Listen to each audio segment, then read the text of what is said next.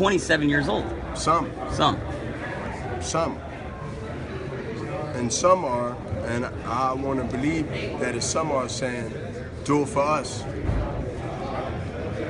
I think that when you are doing something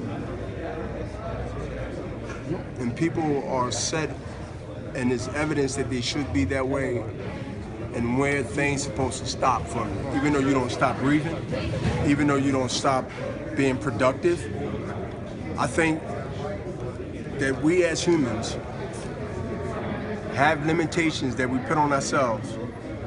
Majority has limitations that they put on themselves that they never let themselves blossom and see the real value that they have in themselves while they're here. Because I figure like this, when it's all said and done,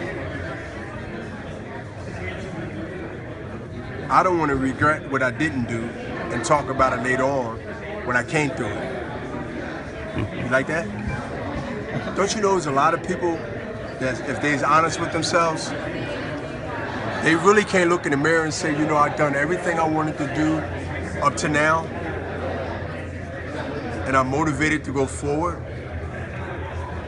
You got some people that wanted to be a boxer but never gave themselves a chance, or wanted to be a teacher but they never gave themselves a chance. It's not that they wasn't qualified; they was afraid to fail to win.